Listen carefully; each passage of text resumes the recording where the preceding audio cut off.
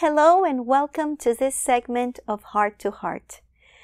We are now engaging in a conversation, and it's an opportunity for me to show God's love and His Word to you.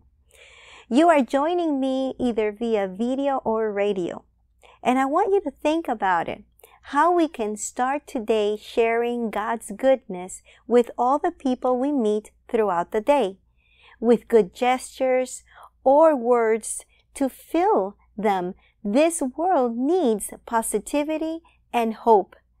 Let's go to the word in Colossians 4 6. Let your conversation be always full of grace, seasoned with salt, so that you may know how to answer everyone. Adding to the conversation, I would like to pray for you. If you need prayer, you can reach out to us at ovmprayforme at gmail.com and we welcome you to join us and visit our website at ovmradio.com. There's a lot of information there that can be helpful. I want to thank you for this opportunity and I bless you. Have a wonderful day.